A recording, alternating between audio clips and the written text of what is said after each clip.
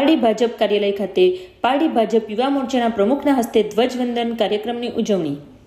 દેશના વડાપ્રધાન નરેન્દ્ર મોદી ફરીથી બે હજાર ચોવીસમાં વડાપ્રધાન બનશે હોવાની આશા વ્યક્ત કરતા યુવા પ્રમુખ. આઝાદી કા અમૃત મહોત્સવ નિમિત્તે આજરોજ પારડી શહેર ભાજપ પ્રમુખ રાજેશભાઈ પટેલની ઉપસ્થિતિમાં ભાજપ કાર્યાલય ખાતે પારડી શહેર ભાજપ યુવા મોરચાના પ્રમુખ જયસિંહ બરવાડના હસ્તે ધ્વજવંદન કાર્યક્રમ યોજવામાં આવ્યો હતો. યુવા મોરચાના કાર્યકરો સહિત ખૂબ મોટી સંખ્યામાં નગરજનો આ ધ્વજવંદન કાર્યક્રમમાં ઉપસ્થિત રહ્યા હતા. યુવા મોરચા પ્રમુખ જયસિંહભાઈ ભરવાડના હસ્તે ધ્વજવંદન બાદ વર્ષોથી પક્ષ સાથે જોડાયેલા ભાજપ કાર્યકરોનું સન્માન કરવામાં આવ્યું હતું. આજના આ ધ્વજવંદન કાર્યક્રમ અંતર્ગત પારડી કોલેજ સ્થિત એનસીસી કેડેટ દ્વારા પણ સલામી આપવામાં આવી હતી. જયસિંહભાઈ ભરવાડે પોતાના ઉદ્બોધનમાં આઝાદી માટે વીરગતિ વહોરનારા શહીદોને યાદ કરી હાલની વડાપ્રધાનની વિવિધ યોજનાઓ લઈ બે હજાર ચોવીસમાં ફરીથી નરેન્દ્રભાઈ મોદી જ વડાપ્રધાન બનશે હોવાની આશા વ્યક્ત કરી હતી. સમગ્ર કાર્યક્રમનું સંચાલન પાડી શહેર ભાજપ પ્રમુખ રાજેશભાઈ પટેલ દ્વારા કરવામાં આવ્યું હતું.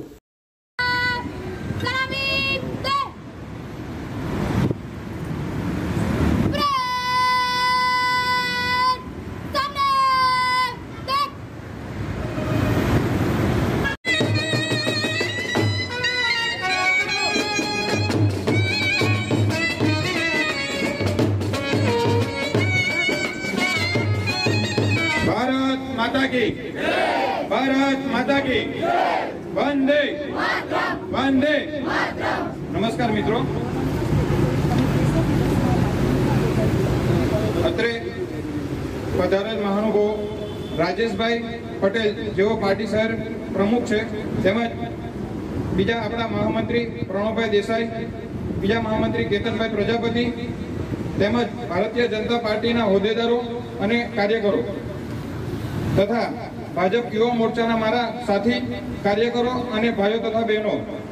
અને આમંત્રિતને માન આપી વધારેલ તમ- તમામ મહાનુભાવો. તેમજ મારા એનસીસીના બાળકો તથા પત્રકારશ્રીઓ. હું અત્રે આપ સૌનું હાર્દિક સ્વાગત કરું છું. મિત્રો આપણે સૌ રાષ્ટ્રપ્રેમી વિચારશ્રેણીના માનનારા પક્ષ સાથે જોડાયેલા કાર્યકરો છીએ એટલે સાચા સ્વતંત્ર સૈનિકોના ત્યાગ, બલિદાનનો ઇતિહાસ આપણા લોહીમાં છે.